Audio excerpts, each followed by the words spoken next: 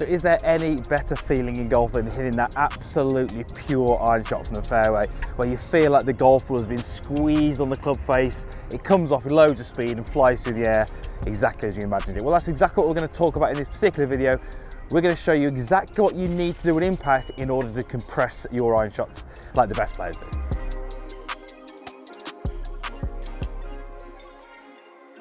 So back at the Forest of Arden and I can barely feel my hands because it is absolutely freezing this morning. It's about 8 a.m. in the morning. It's probably about zero to one degree, but we're talking about compression. And if I hit a shot now, I really need to strike this well because if I don't, it's gonna hurt my hands quite a bit. So compression with your iron shots, it's something that we're all after. And if you've ever hit that perfect golf shot with a perfect strike, you know exactly what I'm talking about. We feel like the ball is squashed on the club face and it's the sensation of feel we're all searching for. So in this particular video, you're going to learn about exactly what needs to happen at impact in terms of the attack angle and in terms of what we call the dynamic loft. And you're going to learn and understand how to perform a little drill, which is going to help you achieve those things. Ultimately, it's going to give you more ball speed, better quality strikes, and more distance with those iron clubs. Just before we do that, if you're not a subscriber, it is absolutely free and I'd love you to be part of the community we have here. So go ahead into the description box down below, click that link and also hit the little bell icon as well, which means you'll be notified each time I do upload a video. So let's go through exactly what needs to happen at impact in order to compress these iron shots. I've got a six iron here, but this would pretty much work or apply with any golf that we're hitting from the ground. So lots of golfers are unfortunately under the impression, because they've been given that poor information, that hitting down on the golf ball, i.e. taking a divot, will give you that compression on the golf ball. And that is absolutely not true. You can hit a golf shot with no divot and get huge amounts of compression and get the ball flight and the sensations that the best players in the world get. So in order to understand what gives us compression, we need to go through those two things. So when I hit my golf shot, my golf club is going to have an attack angle. It's going to be traveling downwards towards the ground, away from the ground or level with the ground. So let's say I have a golf club which is traveling level with the ground. So zero. And let's say, for argument's sake, this hasn't, but let's say this club has got 30 degrees of loft when I make contact with the golf ball. So we call that dynamic loft. So there's my 30 degrees. Now the difference between those two arrows is what's going to relate to my compression. So you can see here that that gap is 30 degrees. My club is traveling at zero and the club had 30 degrees of loft.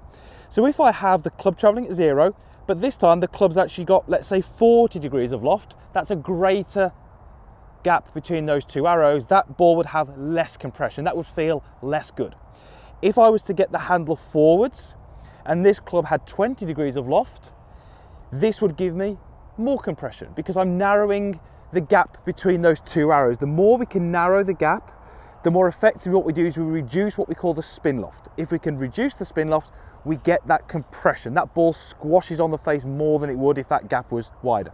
So what you can see there with those demonstrations is that on none of those demonstrations did I suggest that the club was traveling downwards towards the ground because it doesn't have to. Creating good compression is all about narrowing the gap between the dynamic loft and the attack angle. So I could have a golfer where they get the golf club like this, they swing very much down into the ground, but the loft point's very high and they get very, very little compression. Yet they might be taking huge divots after the golf ball. And the sensations they might communicate that with is it doesn't feel particularly good off the face. I'm not getting particularly good distance. I'm not getting the flight I want. I'm not getting the strike that I want. Yet I'm hitting down on the golf ball. So hitting down very often happens in good golf shots, but it's not the key element of compression.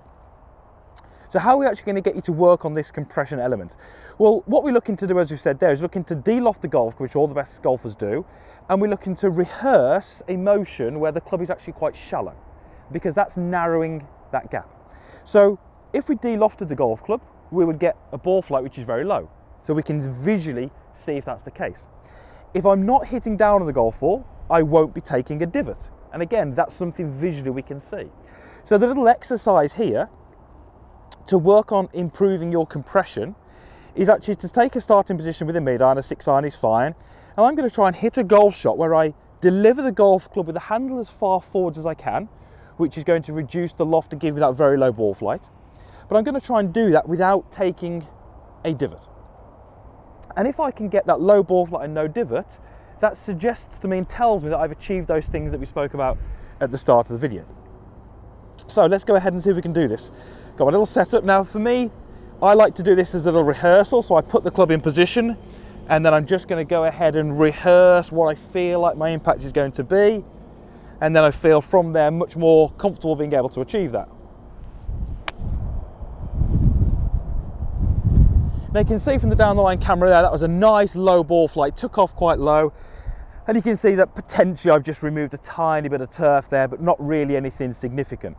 So that shot there tells me that my attack angle was fairly level, so my club was traveling relatively level to the ground, but I had the handle forwards creating that ball flight.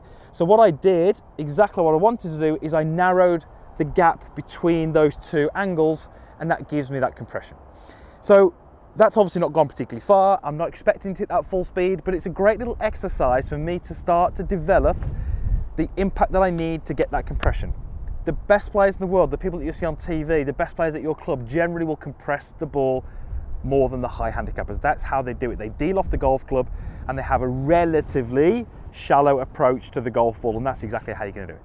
So, let's one little exercise that you can do, which is going to help you to compress your iron shots. And like I said at the start, if you can get that compression, your strike improves, your distance improves, your control over the flight improves. So many good things happen when we can start to appreciate what has to, what's needed at impact in order to get that strike.